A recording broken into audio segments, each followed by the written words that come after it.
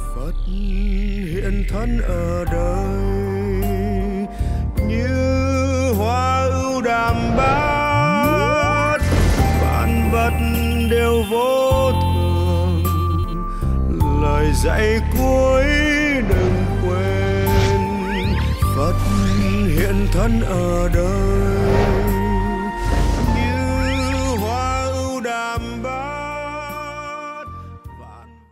Rồi, hôm nay ờ, chúng ta bắt đầu học bộ kinh Tạp A Hàm ha. Thì ờ, trong vòng 6 tháng chúng ta phải xử lý cho hết 3 tập. Ha. Thì ờ, sẽ chọn ra những cái bộ kinh, những cái bài kinh nào mà nó có cái nền giáo lý tốt mà nhất là nó nó nó gần gũi với với chúng ta hiện tại Ờ, cũng như là nam nữ Phật tử thì nhà sư sẽ trình bày những cái bài kinh đó cho. À, thì à, nhớ ha, nhắc rồi ha, bữa hôm nói rồi ha là trước khi trình bày một bài kinh đó là sư đã trình bày rồi. Ngũ thừa Phật giáo thì chúng ta đang nghiên cứu về tạp A Hàm thì bộ kinh này cái giáo lý nó khoảng cỡ như là cấp trình độ cấp 3 đổi xuống còn tìm cái giáo lý hay là cái trình độ mà đại học thì trong này hơi hiếm nha. Nhưng mà nó phải không phải là um, trình độ cấp 1, cấp 2, cấp 3 không có giá trị. Tại vì chúng ta giống y như là cái người mà nó bệnh đủ thứ bệnh hết á. Ung thư á thì cái bệnh nặng rồi. Thì cái này giống như chúng ta học đại thừa vậy đó. Ờ, sắc tức thì không không tức thì sắc á. Mà trong ngoài cái bệnh ung thư ra bên con người chúng ta nó còn những cái bệnh giống như là cảm cúm đau đầu nhức óc rồi này kia nọ đó. Thì có cần những cái thuốc paracetamol hay à, được không? Cần. Còn bệnh mà. Còn bệnh phải cần chứ bao giờ hết bệnh là mới không có cần. Có nghĩa là chúng ta đang học Phật pháp là chúng ta đang tập học thì có nghĩa là nói cái giáo lý thượng thừa đó liễu nghĩa đó thì nó cao ở trên rồi nhưng mà chúng ta cần học những cái giáo lý thấp ở dưới nữa. À, thầy thử coi thì hôm nay chúng ta sẽ học cái bài kinh đầu tiên nha. Cái về lật ở trang ờ, cái cái ờ, bài kinh số 1 á nói về vô thường á. Coi thử chúng ta hiểu ở mức độ nào à, chúng ta đừng coi thường những cái giáo lý mà gọi là trung thừa đổ xuống. À, đọc trước rồi phân tích sau ha. Bài kinh số 1 vô thường một, tôi nghe như vậy, một thời phật ái tựa tại vườn cấp cô độc, rừng cây kỳ đà. Nước xá vệ, bấy giờ đức thế tôn nói với các tỳ kheo, các ông hãy quan sát, sắc là vô thường. Nhớ kỹ mấy điểm này ha. Quán sát như vậy, gọi là quán sát chân chánh. Hai, khi đã quán sát chân chánh thì sẽ sanh ra nhàm tổm khi đã nhòm tởm rồi thì dứt sạch hỷ tham. Sự dứt sạch hỷ tham được gọi là tâm giải thoát, rất là đô rít ha. Cũng vậy các ông hãy quán sát thọ, tưởng, hành, thức là vô thường. Quán sát như vậy gọi là quán sát chân chánh. Khi đã quán sát chân chánh thì sẽ sanh ra nhàm tởm. Khi đã nhòm tởm thì dứt sạch hỷ tham. Sự dứt sạch hỷ tham được gọi là tâm giải thoát. Như vậy này, các tỳ kheo, nếu muốn sự chứng tâm giải thoát này thì có thể tự chứng biết được, biết rằng ta tự sanh, ta sự sanh đã dứt, phạm hạnh đã lập, những việc cần làm đã làm xong, và tự biết không còn tái sinh đời sau nữa. Cũng như quán sát vô thường quán sát khổ không phi ngã cũng vậy. Bấy giờ các tỳ kheo sau khi nghe những điều phật dạy quan hỷ phụng hành. Đó các bài kinh nó ngắn vậy thôi. Thì này chúng ta quan sát uh, coi thử cái ý những cái ý đức phật nó trình bày trong này này ha. Cái vị để ý này quán sát sắc là vô thường sắc là cái gì? Ở trong cái cơ thể chúng ta nó có hai phần. Một là thể chất hai là tinh thần. Hay là nó là tinh thần và sắc. Cái gì nó có hình tướng đó, gọi là sắc. Thịt là sắc cái laptop là sắc cái chuông cái mỏ là một sắc. Thì đức phật nói là các ông hãy quán sát là sắc là vô thường quý vị thấy có một câu đơn giản mà gần như bao trùm hết toàn bộ cái giáo lý cái cái cuộc đời này hết. Những cái gì có hình tướng có có có hình tướng thì cái gì quán sát Đức Phật nó là vô thường hết có nghĩa là thay đổi. Ừ, cái vị gần như đề cập tới đạo Phật của chúng ta đó là cứ đề cập tới vô thường. Hình như rơi bi quan nhưng mà do chúng ta nhìn ở cái cái cái khía cạnh có là tiêu cực á, thì chúng ta gọi nó bi quan. Nhưng mà chúng ta nhìn cái tính vô thường trong giáo lý nhà Phật á, là nó là, ở cái tính tích cực á, thì nó sẽ là một cái rất là tốt. Ở tích cực là gì? Có nghĩa là cái cuộc đời này cái gì nó cũng thay đổi. Hồi xưa chúng ta đẻ ra bao mấy ký? Một ký rưỡi ha nếu mà không vô thường á, một ký rưỡi giờ nó ký rưỡi hoài à. Có chịu không? Không. Cái tâm hồi đó là cái cái cái sắc ha. Cái tâm về cái vô thường của tâm. Cái tâm hồi xưa nó xấu, nó khó chịu, nó không hạnh phúc. Mà nhờ học đạo, tu đạo, hôm nay nó thay đổi. Cái vị có thấy nhờ vô thường không? Không vô thường là nó cứng ngắt hà. Tâm hồi xưa nó y chang, bây giờ nó nó không thể thay đổi được. Thì rõ ràng cái vị thấy rõ ràng nhìn chúng ta nhìn ở cái cái cái tiêu cực á thì chúng ta thấy đạo Phật nó hơi bi quan. Nhưng mà chúng ta nhìn ở cái tích cực á, là nó là phát triển. Nhưng mà đó là gọi là nhìn thôi nha. Chứ còn đây là cái chân lý của cuộc đời. Rõ ràng chân lý của cuộc đời quý vị có chấp nhận không chấp nhận đi nữa nó là quy luật thôi ừ, thì ở đây bây giờ làm sao chúng ta quán sát sắc là vô thường? Cái việc co lại chúng ta khổ cái gì? Ngồi suy nghĩ coi thử chúng ta khổ lý do tại sao. Bây giờ chúng ta tìm cái nhân mà đưa đến cái khổ đó là chúng ta giải quyết cái nó lạc à? Hả? Muốn không được đó là một cái yếu tố thôi. Có nghĩa là bây giờ chúng ta phải cái mà cái khổ là do chúng ta là gì? Chúng ta không nhìn thấy được vạn vật trên đời này pháp hữu vi nó vô thường. Nhưng mà pháp vô vi nó có một cái từ gì bữa trước nó cái bị rồi đó? Là cái từ gì? Hả? Vạn cái cái pháp hữu vô vi mà trong đó gọi là cái phật tánh của chúng ta đó, nó cũng là cái thuộc vô vi đó, thì nó cũng nó cũng thay đổi là sao? Là cái từ gì? Bất định tánh. Nha. Thường á, chúng ta nói là cái phật tánh trong con người chúng ta là nó thường tồn, nó vĩnh cửu. Đó là cái giáo lý bất liễu nghĩa nha. Còn cái giáo lý mà liễu nghĩa đó, cái phật tánh trong con người chúng ta nó vẫn là thay đổi. Gọi là bất định tánh, không có cố định. Nếu mà nó cố định á, thì ông phật ông nói tất cả chúng sanh đều có phật tánh, thì làm gì có cái ông gì giết người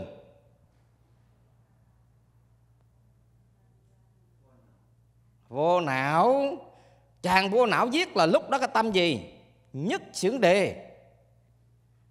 Nhất xưởng đề có nghĩa là cái tâm lúc nhất xưởng đề thì lúc đó không có tâm gì? Không có tâm phật. Cho chúng ta thấy rằng là phật tánh hay là vô vi đi nữa, nó cũng gì? Bất định tánh. Có nghĩa là nó vô thường, nó thay đổi đấy nhưng mà tùy thuộc vào cái nhân duyên cái hoàn cảnh xung quanh. Nếu là đứa con đó nó sanh ra mà nó được hấp thụ trong một cái gia đình đạo đức văn hóa một gia đình có nề nếp á, thì đứa con nó tốt không? Tốt. Nếu mà đứa con cũng đứa đó mà nó sanh ra trong một gia đình cha mẹ không nên thân một cái xã hội không được tốt thì chắc chắn nó sẽ thay đổi tánh nết nó. Thì đó cũng dạng như là bất định tánh là vô thường đấy. Vạn vật trên đời này nghe từ hữu vi cho đến vô vi là nó vô thường hết. Có nghĩa là thay đổi đấy. Thì quý vị coi lại đi, chúng ta, bây giờ chúng ta gọi là ở đây có hai cái mà đức phật nói là các ông hãy quán sắc, quán sát, sắc là vô thường. Quán hết nếu mà chúng ta quán được cái thân này vô thường này, của cải vật chất vô thường này, nhà cửa vô thường á, đứng trước cái sự thay đổi của nó, chúng ta không còn thay, không còn đau khổ nữa thì chúng ta được cái gì? An lạc cái hạnh phúc. Mà chúng ta có hiểu được cái đó không? Chúng ta có chấp nhận đây quy luật không? Không chúng ta cứ cho những cái của người khác ở ngoài là bị vô thường thay đổi, nhưng mà cái gì mà riêng của chúng ta là không được vô thường. Nhưng mà nó có từ không? Không. Sai lầm lớn phải nói rằng chúng ta được hưởng một cái tài sản, một cái giáo lý mà đặc biệt từ đức phật. Một cái quy luật của cuộc đời. Chúng ta chỉ cần một cái là thuận theo quy luật của nó. Nếu mà chúng sanh hữu tình là gì?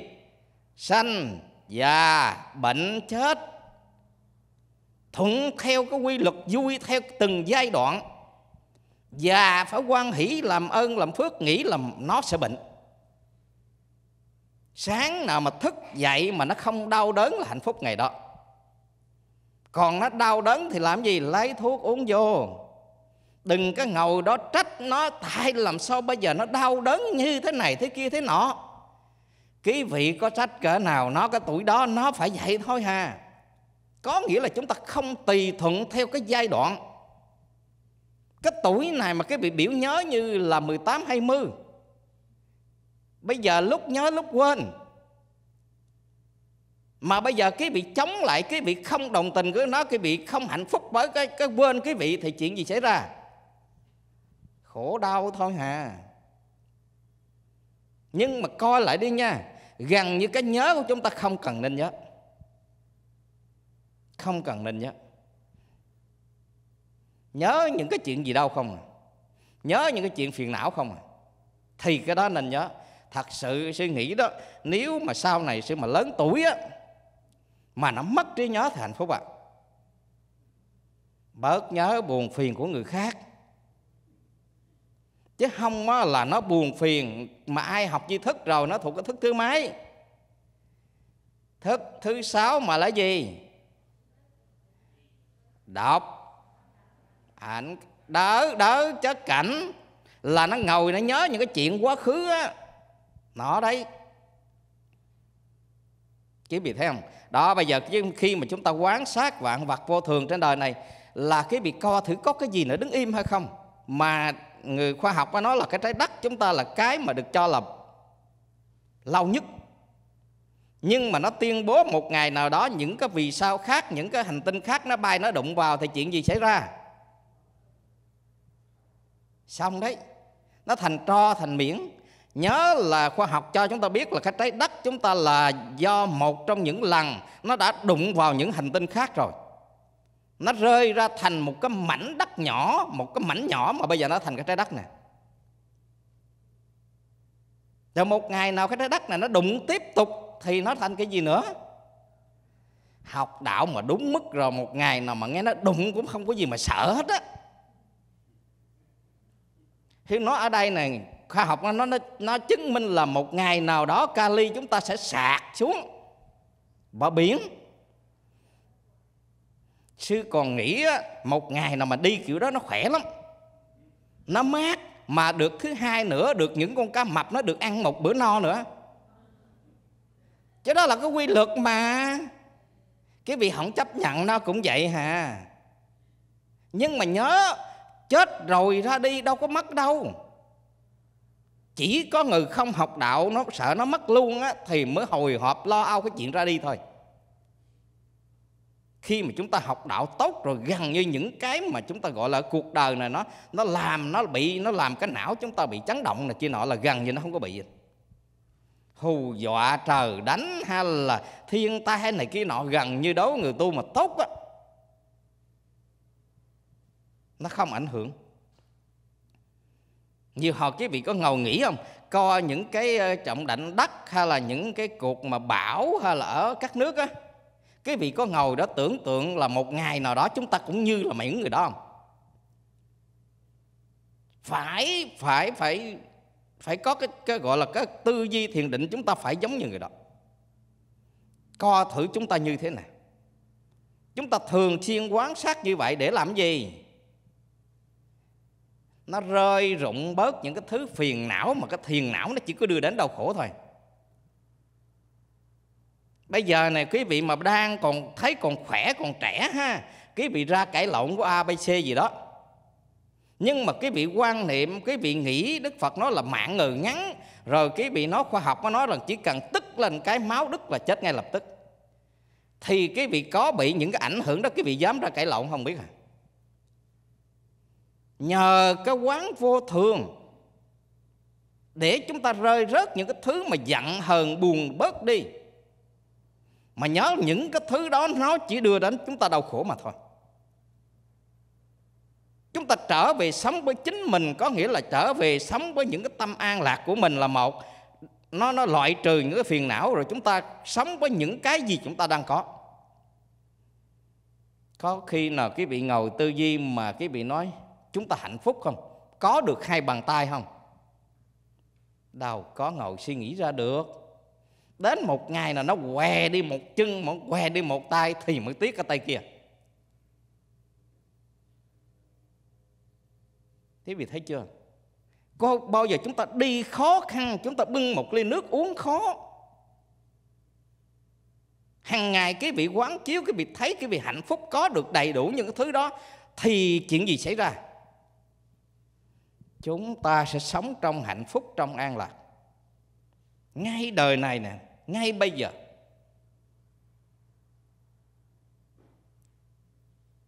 chứ vì có thấy những người mà ta đây nghiệp duyên của người ta thôi chứ không phải là mình nói.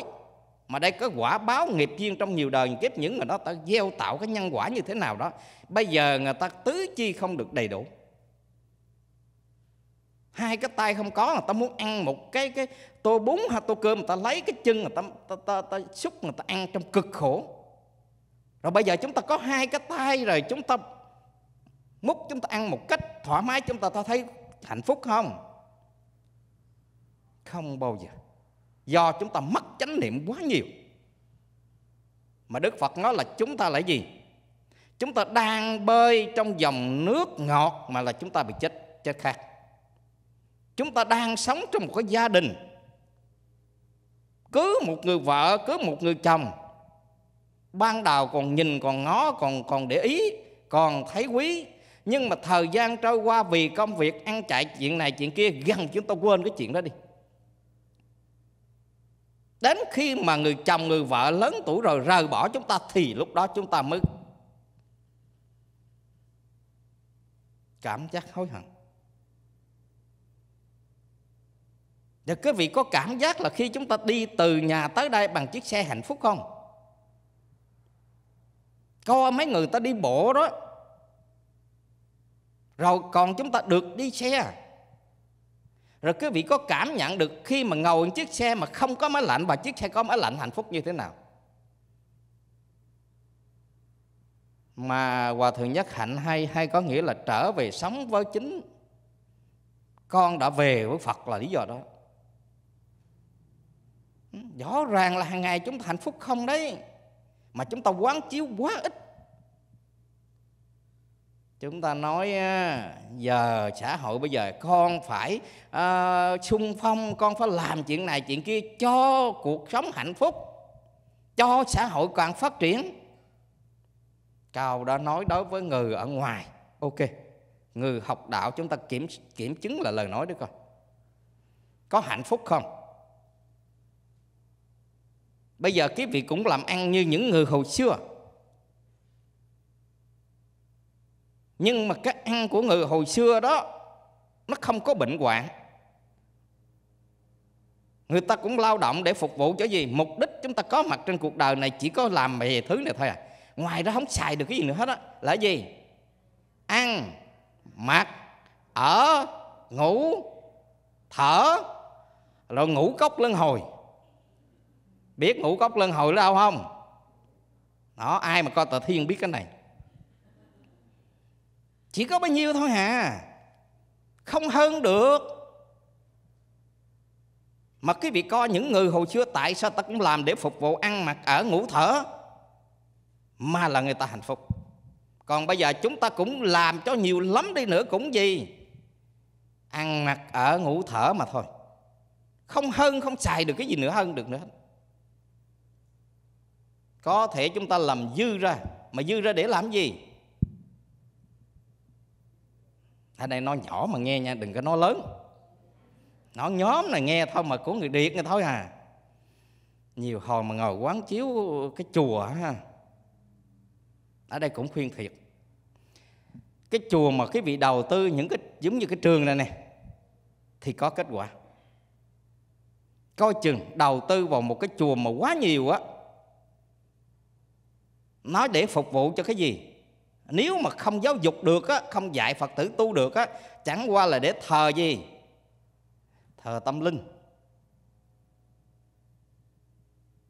Ngoài ra, nếu mà các vị trụ trì đó mà không có cái cái sở trường, không có nhận thức mà cái chùa mục đích để giáo dục, hướng dẫn phật tử tu an lạc á, thì chẳng qua là để về mặt tâm linh mà thôi. Không hơn được cái gì cả chưa nói là khi mà cái chùa nó quá lớn á trụ trì mà mất rồi đó chuyện gì xảy ra thì khi biết rồi coi chừng nó là cái đại nạn của phật giáo đấy Sư nói nó là đại nạn của Phật giáo chứ không phải đơn giản đâu. Có người Mỹ á, người ta không hiểu gì cả. Người ta nhìn vào một cái chùa mà chúng ta đang tranh giành với nhau bởi cái chùa này. Thì nó nghĩ, ồ tôi tưởng đâu Phật giáo, cái tôn giáo Phật giáo là cái đạo tốt lành gì. Cũng là cái gì? Tranh giành vật chất thôi. Coi chừng cái đó là cái hậu quả khi mà nó nó nó nó nó nó làm gọi là gọi là đức phật có nói gì phá giới á cái tội nó không có lớn nhưng mà phá kiến cái tội lớn phá giới có nghĩa giờ sư giữ một cái giới nào không được sư phạm giới đó bản thân sư phạm thôi cái tội này không lớn. Nhưng mà phá kiến có nghĩa là gì? Cái lời nói cái hành động nào đó làm cho ta hiểu sai phật giáo hiểu sai cái nền giáo lý thì cái tội này rất là lớn. Chứ bị để ý cái điểm này. Ừ, thì sư khuyên á, là cái này cái vị phải có dịp á sư nghĩ có dịp nếu mà vị nào Ờ, tăng ni nào mà cái đầu tư cái hướng mà xây ngôi chùa di động á thì quý vị nên xây. Còn cái dây, cái ngôi chùa mà bất động thì coi chừng. Di động là ai? Chùa nào? Ủng hộ cho tăng ni tu ủng hộ cho tăng ni học á cái này rất có giá trị. Tại vì các vị tăng vị ni mà nghiên cứu kinh điển tu tập tốt đó sẽ làm giá trị rất là lớn nếu có dịp có thầy có tăng có ni nào mà uh, kêu gọi phật tử ủng hộ để mà cho tăng ni giúp đỡ tăng ni học hành hay là nghiên cứu kinh điển thì cái này quý vị nên làm. Ừ, thế kỳ quay là vấn đề có nghĩa là chúng ta phải quán vạn vật trên đời này cái quy luật nó là vô thường.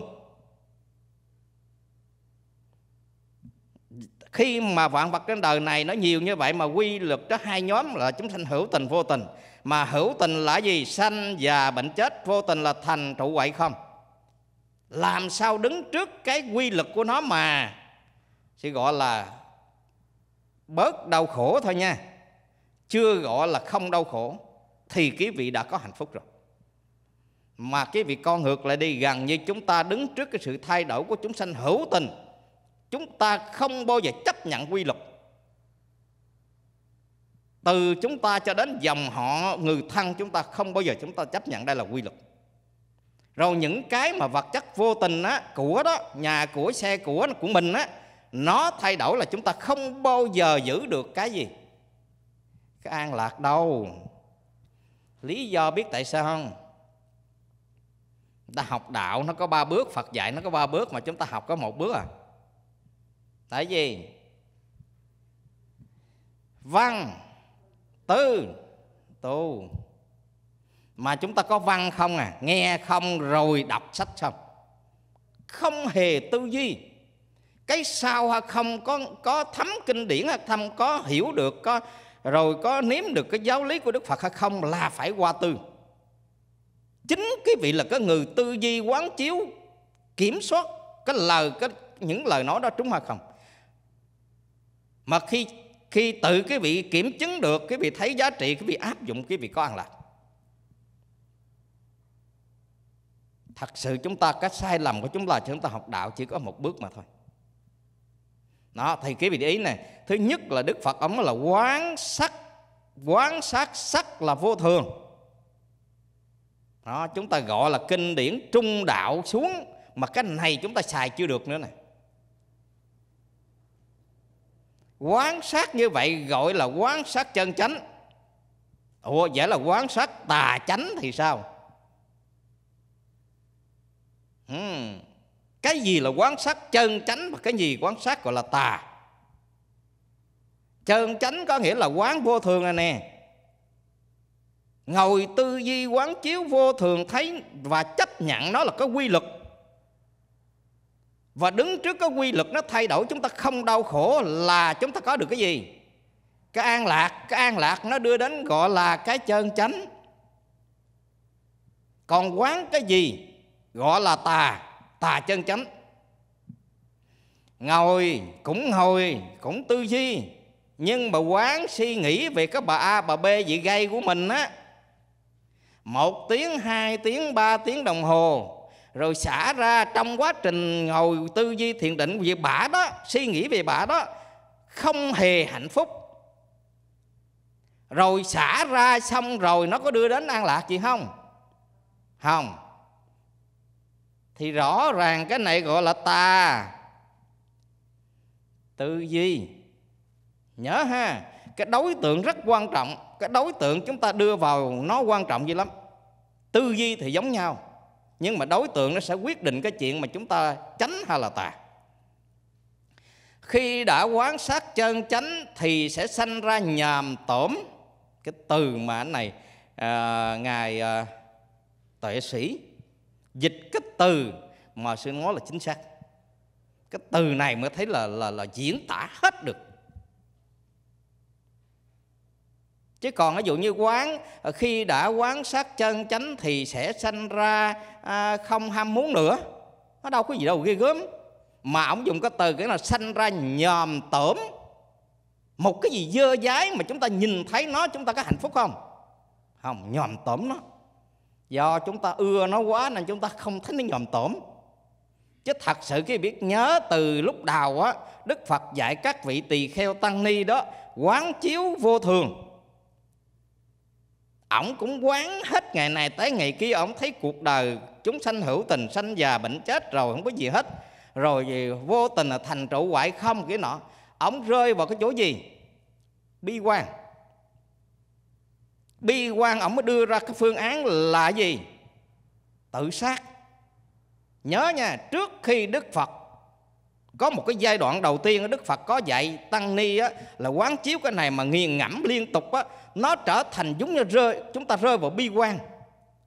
Có nghĩa là vạn vật trên đời này không có gì hạnh phúc cả. Người ta rơi vào cái bi quan người ta tự sát.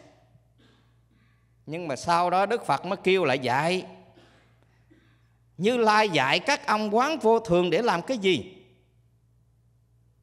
Để ông rơi rớt những cái thứ mà ông bớt ham muốn đi để ông có được cái an lạc hạnh phúc giữa cuộc đời. Chứ không phải kêu ông quán vô thường rồi rồi ông tự sát. Hai cái này khác nhau nha. Cũng quán vô thường ở dụ bây giờ sẽ ví dụ nè. Ví dụ như bây giờ ai mà nói ờ, người nữ á, thì nhìn người nam á, mà đẹp á, là mình gọi là sanh dục đúng không? Rồi người nam nhìn người nữ sanh dục chúng ta gọi là chúng ta mất chánh niệm không tỉnh thức thì chúng ta mới khởi ra cái chuyện đó ở đây ai mà áp dụng cái lời Đức Phật vào mà quán vào có nghĩa là cái cái cơ thể con người á Đức Phật gọi là cửu tử á, chính giai đoạn á mà cái vị còn sanh dục được nữa thì sư mới sanh sư mới phục quý vị đấy. Bây giờ ví dụ cái việc này Ví dụ như bây giờ cái vị thương một người nào đẹp đi Nam nữ gì Nữ thương nam, nam thương nữ gì đó. Bây giờ ngày đầu tiên đó Chưa chết cái vị ôm cái vị hung được ha. Ngày thứ hai người đó chết đi. Hung chưa? Còn hung không? Ủa sao mà chưa vậy? Hết lắc rồi. Mới có bước thứ hai mà lắc sao được? Rồi ngày thứ ba thứ tư mà nó trong ngừ mà nó sình mà nó chảy cái nước ra đó. Cái ngừ mà mình cho đẹp nhất á nó chảy cái nước hôi, nước thúi ra, cái vị còn quay lại đó, ôm hôn sanh dục được không? Rồi đến cái giai đoạn mà đức phật diễn tả đó là nó còn có cục xương không? Rồi nó thành bụi này kia nọ, những con trùng, những cái con ái nó, những con con trùng nó sanh ra đó. Lúc đó cái vị còn sinh dục không biết à?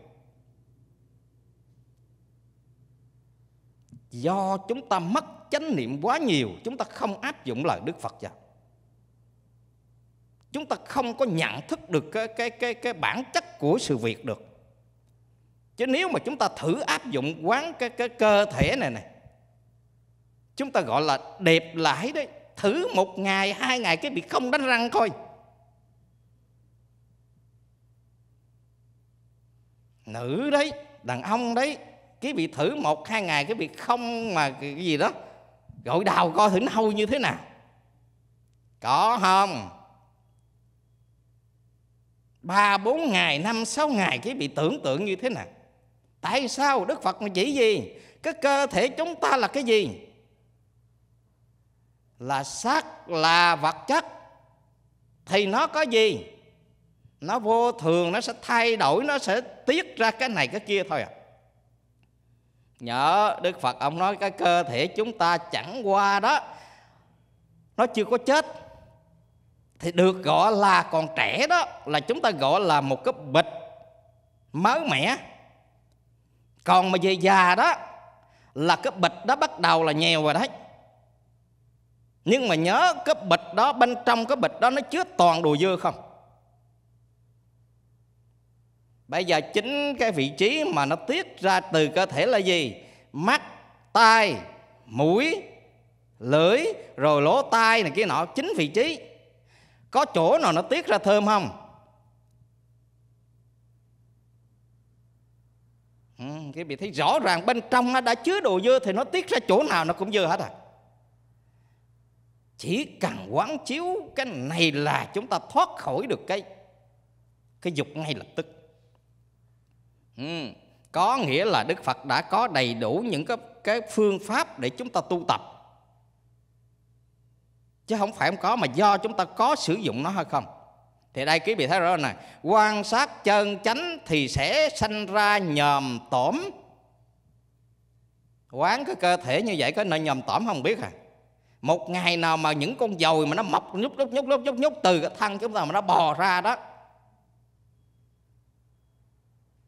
dù người đó là hoa hạo hay nam gì đó nam dương hay nữ dương gì đó cũng vậy à quán chiếu đi là chúng ta sẽ có an lạc. Ừ, rõ ràng là ngài ngài ngài tự sĩ dùng cái từ rất là chuẩn có nghĩa là sanh ra nhòm tổm. Rồi bây giờ cái bị quán đó là cái cái cơ thể cái bị quán cái giống như giờ thêm cái địa vị danh vọng này chưa học đạo đó quý vị nhìn những cái chức vụ phó tổng thống tổng thống rồi trời, giám đốc này kia nọ là quý vị mê dữ lắm. Mà khi mà qua cái lăng kính Phật giáo phân tích quý vị thấy quý vị thấy cái người đó mất hạnh bất hạnh rất là bất hạnh. Ăn những cái mà mình thích ăn không được. Bận những bộ đồ mà hạnh phúc mà bạn không được. Sống với chính mình sống không được. Sống trong hồi hộp lo âu, người ta sẽ giết, người ta sẽ bắn chúng ta. Quán như vậy có nhầm tảm không biết à? Có cần nó hay không? Có thích nó nữa hay không? Đó là cái pháp gọi là ngã sợ đấy. Rõ ràng là khi mà chúng ta quán cái đó không phải đưa, để để chúng ta bi quan đâu không có chạy theo cái cái, bây giờ nó, bây giờ muốn có cái chức đó phải kiếm tiền đúng không? Bỏ tiền ra mua. Bỏ công sức ra mua, bỏ cái, con người chúng ta ra mua. Bây giờ chúng ta không cần cái đó nữa, chúng ta sống với chính mình, với gia đình, với dòng họ, với con cái, với chiếc xe, với những cái gì có hiện tại chúng ta, thì rõ ràng chúng ta sẽ có hạnh phúc. Một đích quán vô thường mà nó trở thành mà nhòm tổm là lý do đó đấy không phải quán để chúng ta từ bỏ chúng ta đau khổ giữa cuộc đời này đâu. Ừ, quý vị thấy ha? Khi đã nhòm tóm thì dứt sạch hỷ tham. Thấy chưa? Quán có người nữ hồi nãy đó mà dồi bò ra này kia nọ nước thôi thúi ra đó có có dứt được cái hỷ tham có dứt không? Dứt. Quán địa vị như vậy đó có cần muốn nó hay không? Không thích sự dứt sạch hỷ tham được gọi là tâm giải thoát. Giải thoát là gì? Giải thoát nó đơn giản đừng có nghĩ giải thoát là đợi một ngày nào đó về cái thế giới nào đó không ai cột bó không phải. Giải thoát là cái mà à, cái tâm chúng ta nó vắng hết phiền não. Thì cái từ đó gọi là giải thoát. Chứ còn mà bây giờ chúng ta về một cái thế giới cực lạc hay là thế giới niết bàn mà cái tâm chúng ta còn phiền não, còn ham muốn, còn khổ đau thì chưa gọi là cái từ giải thoát. Vậy thì cái từ giải thoát này có cần đi đâu không? Không. Thiết lập ngay bây giờ, ngay chỗ đây. Xin thưa quý vị, thường thường có người mà nó có cái máu mà kinh điển đại thừa rồi á. Đây là kinh trung bộ, mà nói một hồi nó cũng lòi ra đại thừa đó cái từ giải thoát mà hiện tại nếu mà trung thừa nó ừ, ờ, giải thoát là à, chúng ta được an lạc hạnh phúc giải xong không có chỉ cái việc ngay bây giờ cái việc có thể giải thoát ngay bây giờ được. Chỉ có đại thừa mới nói cái kiểu này. Ừ. sự dứt sạch hỷ tham được gọi là tâm giải thoát. Cũng vậy này ông hãy quán sắc thọ ai tu uh, thiền vipassana. Quán cái gì? Tứ gì? Tự niệm xứ là gì? Quán tâm.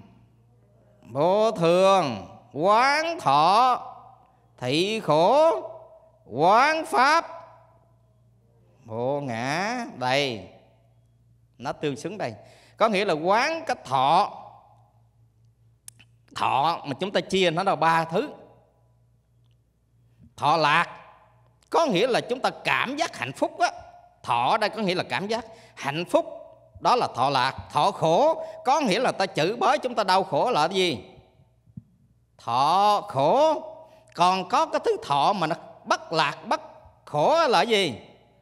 Ngồi uống trà không ai chữ gì hết á. Cũng không ai khen mình gì hết, đó là cái gì? Bất lạc, bất khổ thì thọ ở đây nó có ba trạng thái.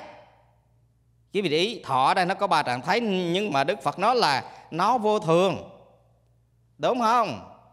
Đang ngồi an lạc quá vậy đang ngồi nghe kinh an lạc quá bạn kế bên lấy cây, đi, cây kim chọt một cái. An lạc nó trở thành gì? Khổ đau. Khổ đau nổi săn lên đây. Đó có nghĩa là rõ ràng nó vô thường nó thay đổi cách thọ đi nữa nó vẫn thay đổi nha. Quý vị coi đó hàng ngày quý vị thọ ba cái trạng thái này như thế nào? Gần như có lúc mà cái vị đang thọ lạc á thì lúc này nó không có khổ. Mà lúc thọ khổ á, thì lúc này nó không bao giờ có lạc.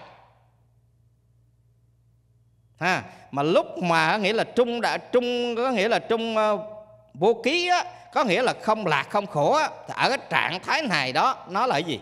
Nó vừa có lạc và vừa có khổ. Nó xen kẽ trong đó. Thì để ý ha. Có nghĩa là cái từ vô ký này nó khác nha. Cái từ vô ký này ai học tri thức rồi á ha. Vô ký nó khác với cái gì? Cái phẩm mà trong kinh Đại Bát Niết Bàn gọi là anh lạc. Có nghĩa là cái cái ờ, diễn tả trong các phẩm đó Đức Phật diễn hướng dẫn chúng ta tu á là giống như là một cái đứa hài nhi mà cái tâm nó là tâm gì? Anh nhi hạnh. Nha cái anh nhi hạnh này đó có nghĩa là cái lúc này trong cái tâm của nó được ví dụ giống như nó không có giận hờn buồn ai hết thì gọi là gì? Phật tánh của chúng ta. Còn á, là cái chúng nghĩa là vô ký ở đây có nghĩa là hên xui chứ không phải là không có nha. Anh như hạnh hồi nãy là đức phật giống như đức phật đã loại trừ. Uh, tu loại trừ sửa tất cả bỏ hết cái đó bây giờ muốn lấy cũng không được. Muốn nó nổi lên cũng không được. Còn cái thằng vô ký này đó nó nó gọi là nó gọi là tạm gọi là gì? Lắng xuống. Nhưng mà có dịp nó sẽ nổi lên. Nếu là phiền não. Thì cái từ vô ký cái vị để ý cái chuyện đó thì ở đây cái vị cái thọ nè tưởng nè hành nè thức nè đều là vô thường. Ừ. có nghĩa là cái muốn chỉ cho chúng ta có nghĩa là trong cái thân của chúng ta nó có hai vấn đề ha. Thể xác và tinh thần. Mà thọ tưởng hành thức là nó thuộc cái gì? Tinh thần. Còn sắc á, là nó thiệt gì? Vật chất nhớ ha trong nam truyền đức phật nói là ngũ quẩn được hình thành nên một con người mà theo đại thừa gọi là gì? Thất. Đại ngũ quẩn là sắc là thuộc vật chất thọ tưởng hành thức là thuộc tinh thần. Còn về đại thừa đó gọi là thất đại địa thủy quả phong không kiến ờ, không á, là nó thuộc vật chất kiến và thức nó thuộc tinh thần. Dù đại thừa hay tiểu thừa thì con người chúng ta nó có hai lĩnh vực tinh thần và vật chất.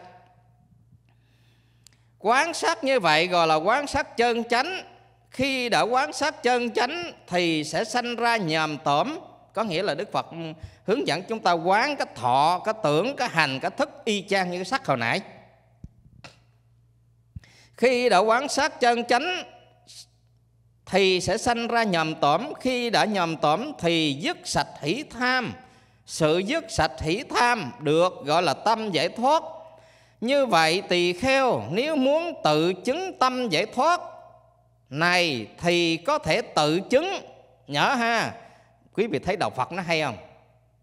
Không nói là để đức phật chứng a la hán chứng. Mà đức phật nói là người nào mà quán sát được cái này thì gọi là gì? Tự chứng được cái gì? Tâm giải thoát thì ngài mới nói này, như vậy tỳ kheo, nếu muốn tự chứng tâm giải thoát này thì có thể tự chứng biết rằng ta sự sanh đã dứt, phạm hạnh đã đã lập, những việc cần đã làm làm xong thì tự biết, không còn tái sinh đời sau nữa.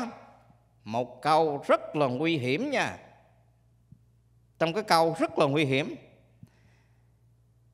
tu tập mà đạt đến cái quả vị a la hán hà phật rồi đó, nó không còn tái sinh lại nữa. Rồi đi đâu? Mà nó rơi vào cái gì? Đoạn kiến. Mà hai cái giáo lý rất là nguy hiểm, đức phật trong giáo lý nhà phật không chấp nhận là gì? Thường kiến và đoạn kiến vậy thì trong cái bài này tại sao đức phật nói là sự sanh đã dứt phạm hạnh đã lập những việc cần làm đã làm xong, sự chứng biết không còn tái sinh đời sau nữa. Ừ, chỉ vì thấy mâu thuẫn rõ ràng đấy. Nếu mà không nghiên cứu kỹ là chúng ta, những người tu hành là sau khi mà tu đạt này kia nọ là biến mất mất tiêu. Vậy thì tu làm gì? Tự nhiên con người linh động con người có giá trị con người an lạc giữa cuộc đời này mà tự nhiên rồi biến mất. Mà biến mất không còn tái sinh nữa là rơi đoạn kiến. Nhớ ha kinh này á, là kinh gì? Bất liễu nghĩa. Kinh này là thuộc cái giáo lý. Nếu mà tứ tất đàn nó không phải là gì? Đệ nhất nghĩa tất đàn mà nó có ba cái đàn sau thôi. Thì cái bị nhớ rằng là kinh này đức phật nói nói vậy mà không phải vậy. Học cái này dùm chứ không là cái gì mâu thuẫn ngay. Có nghĩa là cái này không phải là cái giáo lý rốt ráo của đức phật. Ở đây cái vị phải hiểu hàm ý chỗ này nè. Không còn tái sinh nữa vậy thì đức phật thích ca, đức phật thích ca chúng ta thành đạo xong rồi mất luôn, đúng không? Hai cái trường hợp tái sinh. Mà trường hợp gọi là tái, gọi là sanh tử. Đúng đúng rồi, sanh tử bì lao và sanh tử tự tại, nó khác nhau. Bì lao là như chúng ta nè, bị sanh xuống. Chứ không không có được sanh còn các vị bồ tát các vị phật muốn đi muốn sanh chỗ nào sanh có bị bắt không? Vậy thì còn làm gì mà có chuyện mà không sanh ở đây? Nhớ ha có nghĩa là khi mà tu tập như vậy đó nó tất cả cái phiền não nó nó không còn nữa thì không còn gọi là tái uh, tái sinh là ưu bi khổ não nữa. Tự cái này lập cái này chúng ta đã tu loại hết rồi mà. Không tái sinh lại mang cái thân có là ưu bi khổ não nữa nhưng còn tái sinh nha. Vạn vật trên đời này nó biến chuyển từ trạng thái này qua trạng thái khác, không bao giờ mất trong cuộc đời này nha. Thì cái tâm thức chúng ta như vậy. Cái vị để ý ha này học mới sợ này. Sẽ nói nghiên cứu kinh điển phải nói là gần như từ giờ sư cũng chưa nghe ai luôn á. Mới có hình như có nghe được một vị thôi, mà không có nói nó rõ như vậy có nghĩa là nói mà cái kiểu mà sư nói rằng lúc mà đức phật nói giỡn, còn lúc mà đức phật nói thiệt, mà theo đại thừa đó là nói gì? Phương tiện. Lúc nào đức phật nói phương tiện, còn lúc nào đức phật không sử dụng phương tiện. Chứ không là cái vị dính mắt không? Như là trước sư đã nói cái vị đó đó. Trong một cái bài kinh nha đức phật ờ, nói rằng là có lúc đó là cái xã hội ấn độ cái thời đó là nó tế thần. Tế thần là bắt cái gì? Lấy mạng người những cái động vật để mà tế thần. Nhưng mà trong cái nền giáo lý đức phật biết rằng không có thần nhưng mà ông, ông không thể nói cái này được. Ông phải phương tiện gần gũi để nó tương xứng người ta là gì? Ông yêu cầu tín đồ của đức phật là tế bằng cách gì? Cũng tế thần mà bằng cái gì? Bằng trái cây, bằng bông, bằng hoa. Nhá. chứ lúc này đức phật mà phản ngược là không ai nghe nổi. Nguyên cái xã hội ấn độ 96 đạo giáo nó tin là có thần. Mà Đức Phật một mình ông đứng ra ông nói trên cuộc đời này không có thần, đừng có tế. Làm sao nó chịu nổi? Nên Đức Phật có lại là phương tiện, chuyển từ cái giết mạng người giết động vật để tế mà trở thành lấy cái gì tế. Hồng hoa. Rồi sau này, cái trình độ chúng sanh nó cao lên, ông nó không có thằng nó đừng có tế. Sư nói nghiên cứu xong rồi, sư nói đức phật mình cũng quá tuyệt vời. Tùy cái chủng tử, tùy cái trình độ từ cái hoàn cảnh mà ông đưa những bài pháp. Đây là những cái bài kinh này, cái vị sẽ gặp sẽ gặp có những vị thần thánh trong đó không? Nhưng mà nó thuộc một trong 12 thể loại kinh. Học nhớ chưa? Theo đại thừa nó nó phân ra, các vị tổ phân ra 12 thể loại kinh. Mà trong đó nó có một cái thể loại là gì? Vị tăng hữu. Nhớ, cái loại nữa đặc biệt đức phật nói đàng hoàng, ông nói cái thể loại này đó, ông sẽ nói những cái câu chuyện không có trên đời, không có thực tế khoảng khoa học quyền thoại. Nhưng mà nhớ ông để ý đàng hoàng nha, ông cũng nói nha, mà ông nói đàng hoàng nha, đừng bao giờ để ý câu chuyện. Cái câu này rất quan trọng, đừng bao giờ để ý câu chuyện, mà hãy để ý cái cái, cốt lõi cái giáo lý đức phật muốn gỡ gắm trong câu chuyện là cái gì? Nhớ kỹ cái thể loại này nè chứ không ký vị học kinh điển mà nhất là kinh điển đại thừa là cái vị rơi vào cái chỗ gì hết à? Thằng thánh quyền thoại hết. Mà cái vị thấy cái thể loại mà mà vị tàn hữu này cái vị thấy như cái câu chuyện mà đức phật đản sinh á. Sanh ra mới sanh ra mà đi có khoa học không? Mà dẫm mà dẫm trên bông sen. Nửa ký mà dẫm trong bông sen thì bông sen có còn không? Mà xanh là bên bên hông. Có khoa học không? Nhớ là thuộc cái thể loại câu chuyện này nó thuộc thể loại gì? Vậy tàn hữu, đừng có để ý câu chuyện, mà để ý cái gì? Tại làm sao không sanh cái gì mà trong bông sen? Tại vì cái bông sen được quý phật quý phật đức phật ví dụ á, bông sen mà sẽ chia làm ba giai đoạn á, dưới dưới bùn, trong nước và ngoài nước. Ba cái vị trí này, dù nó không có rõ ràng, nhưng những cái điều kiện của một bông sen trong ba giai đoạn này đều giống nhau. Ông gợi gắm kinh điển trong cái chỗ này nè. Ông nói giống ví dụ giống như chúng ta là phàm phu tục tử, giống như bông sen ở trong gì? Trong bùn. Các vị bồ tát a la hán giống như bông sen ở trong nước vị phật giống như bông sen thoát ra ngoài. Nhưng mà ông nói rằng cái bông sen đó, ba giai đoạn này, cái điều kiện bông sen đều có giống như nhau. Thì ông nói là trong chúng sanh phàm phu tục tử của mình á hay là các vị bồ tát, các vị thánh á hay là phật á, thì cái phật tánh trong ba ông này nè, đều là vàng mấy bổn số 9 đó là cái triết lý đức phật muốn gỡ gắm trong cái cách thuộc thể loại vị tần hữu chứ không á, quý vị sẽ đọc mê tích hết rồi. Nói những cái câu chuyện mà đức phật có nghĩa là lấy cái ờ, dùng cái thằng thâm của mình rồi hốt ờ, bóp cái trái đất của à, của, có nghĩa là lấy hàng hà xa cái thế giới của các vị Phật nhét vào trong cái thế giới của mình. Ảo thực quá ảo thực. Mà có hay không có làm được hay không? Muốn học cái này phải học cái gì? Mừ cái gì? Thập quyền duyên khởi. Trong kinh di ma cật quý vị phải nhớ rằng là một là tất cả tất cả là một. Tôi không cần đem nhét cái lấy hàng hà sa thế giới đức phật về để nhét vô cái thế giới của tôi. Nhưng mà nhớ rằng cái thế giới ta bà này được hình thành từ gì? Địa, thủy quả phong, bốn cái cái thế giới của ông phật ở bên kia ổng có hình thành từ gì? Địa, thủy, Quả phong, không có nhét vô. Nhưng mà nói rằng là tôi không còn nhét. Thế giới ông cũng hình thành từ bốn đại đó, thì thế giới tôi cũng hình thành từ đó. Không hề nhét một cái gì. Cái này để phạt, để mục đích nó đó để làm gì? Đã phá cái giáo lý mà chúng ta để gọi là cái giáo lý kinh điển mà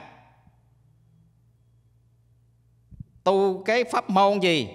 Tịnh độ tông chúng ta cầu nguyện, chúng ta chúng ta niệm phật, chúng ta làm cái gì? Đợi một ngày nào đó về cái thế giới gì? Cực lạc. Mà thế giới đó và thế giới đức phật thích ca có khác nhau không? Không. Nó cũng được hành thành từ tứ đại cái chuyện mà quan trọng là làm sao mà cái vị tu mà loại trừ hết cái tâm phiền não rồi thì không cần đi cái thế giới nào cả. Khi mà không nhiều chuyện rồi đừng có đi đâu hết. Hay là chúng ta lấy ví dụ giống như tôi nói là giống như cái ờ, đất nước Mỹ và đất nước Việt Nam. Chúng ta thấy gần như hai đất nước giống như nhau. Mà đất nước Mỹ chúng ta gọi là đất nước văn minh. Giàu có đúng không? Nhưng mà ở Mỹ nó có ăn xin không? Có. Việt Nam ăn xin thì chắc rồi đó ha. Mỹ có tỷ phú, Việt Nam có tỷ phú không? Việt Nam có người nữ Mỹ có người nữ không? Gần như cái gì ở Mỹ có thì Việt Nam nó có. Có cần đem đem nguyên cái thế giới của ờ, nước Mỹ đem về nhét Việt Nam không? Thấy không? Phải dạy mã cho được, chứ còn không á, là quý vị sẽ học kinh điển mà nhất là kinh điển đại thừa, nó đưa cái vị vào bi qua vô cái gọi là quyền thoại không? Mà những cái triết lý đó do chúng ta nhận thức, chúng ta thấy được, nó rất là khoa học. Và cho chúng ta phương pháp tu rất là an lạc, rõ ràng. Chứ đâu phải giải thích như vậy rồi để chơi đâu. Thấy chưa? Đó thì quay lại vấn đề ha. Hồi nãy chúng ta đang trình bày về vô thường. Thì nói chung là bây giờ nói tới vô thường thì ai ở đây cũng biết vô thường hết rồi đó. Nhưng mà gần như mới đi bước đầu tiên à là văn. Văn ở đây có thể là nghe hoặc là đọc. Còn cái bước thứ hai là tư duy á, cái này rất là quan trọng. Khi mà chúng ta tư duy á, thì gần như cái này không thể ai thay đổi được khi mà nhận thức sâu về ngồi tư duy về đề tài đó, nó sâu rồi đó, thì không ai có thể thay đổi được cái suy nghĩ này được. Mà nó giúp chúng ta hiểu sâu về chân lý. Mà khi sâu về chân lý rồi thì chúng ta chấp nhận, chúng ta quan hỷ trước quy luật của nó. Phải nói là chúng ta không phải là tự khoe, mà chúng ta phải nói là đại phước đức. Mà được làm đệ tử của một vị giáo chủ, mà một vị giáo chủ này rất là khoa học nha không có bắt chúng ta nhồi não. Không yêu cầu chúng ta là tư duy theo cái kiểu mà mà của Đức Phật. Cho chúng ta tìm mọi cách coi thứ trên đời này có cái gì không vô thường không? Chứ đâu bắt, ông đâu có bắt chúng ta là phải nhận thức cái nào cũng vô thường đâu. Tự chúng ta đi tìm cái không vô thường mà tìm không có ra. Ừ, thì rõ ràng cái còn lại là còn của vị đó. Kết quả, chứ không là uổng dữ lắm nha. Uổng thứ nhất là làm một kiếp người thứ hai là chúng ta, uổng là chúng ta làm được đệ tử đức phật. Không hưởng được một cái gì an lạc hạnh phúc giữa cuộc đời này. Mà rõ ràng giữa cuộc đời này nhìn với cái tư tưởng đại thừa là rõ ràng. Là vạn pháp trên đời này đều là thanh tịnh hết mà mà do chúng ta mang cặp kiến khổ đau nhìn đau nó cũng khổ răng chịu thôi à. Uổng rất là uổng. Ờ à, hôm nay nghỉ đây ha. Phật hiện thân ở đời như hoa ưu đàm bát. Vạn vật đều vô thường lời dạy cuối đừng quên. Phật hiện thân ở đời.